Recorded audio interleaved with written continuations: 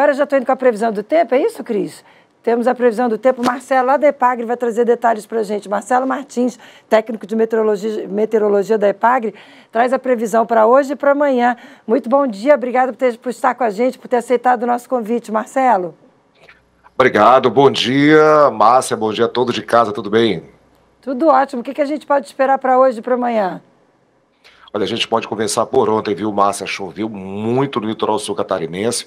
A gente tem um sistema de baixa pressão sobre o oceano, mas muito próximo à nossa costa e deve fazer é, um tempo muito fechado, estável, muita chuva ali para o litoral sul catarinense. Já choveu em torno de 70 a 80 milímetros em média, mas teve alguns locais que choveu até 100 e isso pode se repetir hoje.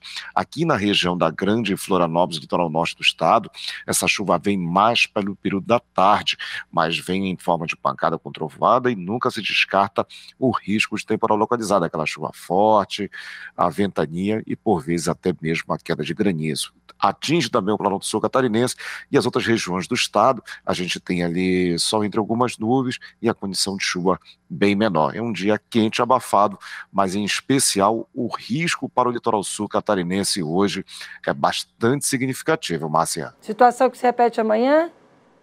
Olha, vai diminuindo gradativamente, porque esse sistema ele vai caminhando para o litoral do norte do Rio Grande do Sul e vai diminuindo, melhorando gradativamente né, na, na, nas horas seguintes, mas a terça-feira ainda é estável. A quarta, quinta, sexta, todos os dias tem sol, bastante calor, temperaturas aí acima dos 30 graus e aquela chuva de verão que vem naturalmente até a tarde à noite. Aí isso serve para todas as regiões catarinenses, mas gradativamente a gente vai dando uma trégua nas fortes chuvas ao longo do meio desta semana em diante. Que bom, Marcelo. Obrigada pela participação, obrigada pelas informações. Um ótimo dia para você.